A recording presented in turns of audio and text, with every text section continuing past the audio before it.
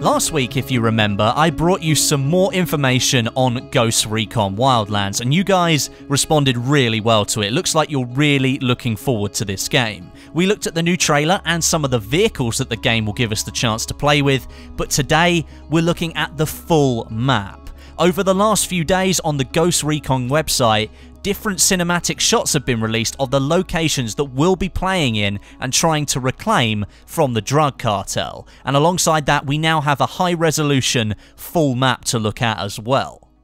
The map was revealed in some promotional art for the different editions of the game, and it shows off all of the different landmarks, the key mission locations, as well as the different regions and environments that we get to play in. From the image there, you can see at least three different airports are on the map. We've got one in the far southeast corner near Libertad, one over in Barchevos region in the west, and one in the northeast Villaverde.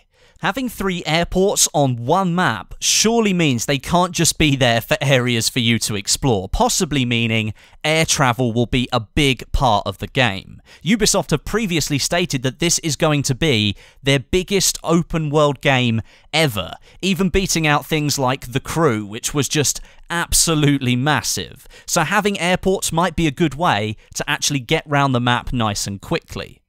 Alongside those airports, you'll also see marked on the middle of the map here an icon that's labelled MOB, and that stands for Main Operating Base. And where have we heard something like that before? As soon as I heard it, my mind jumped straight to the division. Perhaps this is a central location where you and your other ghosts can come and set up camp and look to operate from, or maybe come back here at any time to stock up on supplies and orchestrate your next attack. Right now, we don't really have any information on what it is, but it does sound very similar to the base of operations in the division.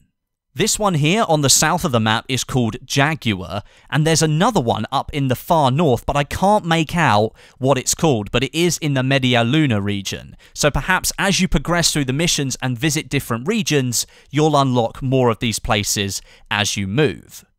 Also, you'll see marked on the map are some mugshots of different members of the Santa Blanca drug cartel the organisation that you'll be tasked with taking down and returning the land back to the Bolivian people. Now, these images are likely the location of the cartel members that are crucial to the story, and they'll need to be taken down one by one. From previous information, it seems there will be plenty more of these members to take down and eliminate, but the ones marked here seem to be the high level ones.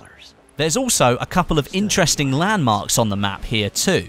Up in the far north, we have Death Road, which many of you have probably heard of before. The old Top Gear team actually recorded an episode of them using the road to cross the country. And as the name might suggest, it really is one of the most dangerous roads in the world. You've got the train cemetery over in the northwest. We know there will be a full train network on the map, but the majority of it is actually run down and not used anymore. There's a couple more landmarks on there as well. Who knows what their significance is right now, but they're likely to do with the story. Beyond all of those locations on the map, the developers have dropped some stunning looking shots of some of the environments that will be in the game. I've been playing them in the background in between switching to the map. And first of all, let's look at the salt flats. This is a location that really intrigued me when I first saw it in the previous gameplay that's been released, and here we get to see a little bit more of it. It's the section of the map where the abandoned train yard is located, which is said to be one of the key locations for the drug cartel. Besides the flats, we also get a look at the Red Canyons, which again provides an awesome change of scenery. This thing in Wildlands, going for all these different environments, just seems to fit really well for me. I'm actually really excited to see how the gameplay changes depending on what region you're in.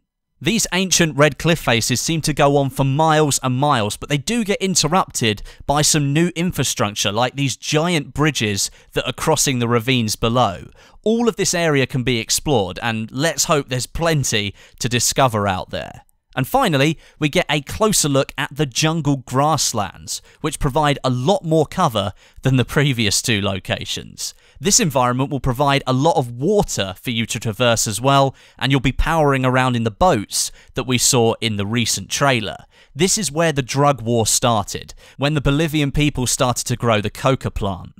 It looks really dense in there, which could make for some perfect cover when you're attacking a drug den. Hopefully, we'll get to look at the snowy mountains and the desert location soon.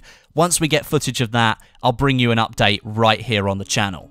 So, you're up to date with Wildlands again. Don't forget, E3, which is only a couple of weeks away now, will bring us some brand new gameplay and information on Wildlands, so stay tuned here and I'll bring you all the updates I can once we get them. Thanks very much for watching. Let me know what you think down below in the comments. I'm really excited, but I'm reserving my final judgment until we see gameplay at E3. I just want to be sure that the gameplay does live up to the visuals that we've seen so far. And while you're down there, drop me a like as well. But until next time, my name is Westie, and I'll catch you guys in the next video.